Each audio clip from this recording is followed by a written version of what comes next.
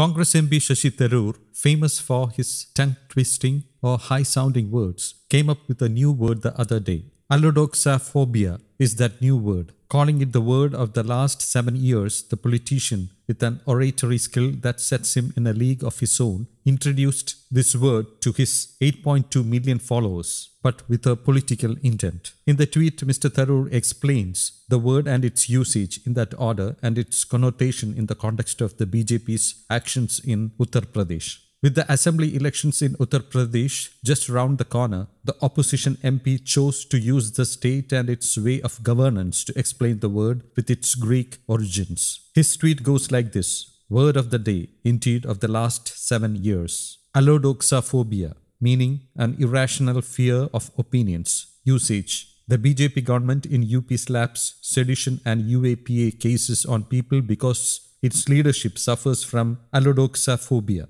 Greek allo means different, doxo means opinion, and phobos means fear. His tweet has amassed over 7,500 likes and 1,200 retweets. Mr. Tharoor has often been called a wordsmith. In June, Mr. Tharoor gave a cheeky response to those who issue snarky remarks daily about his diction. News Desk, Kaumudy Global.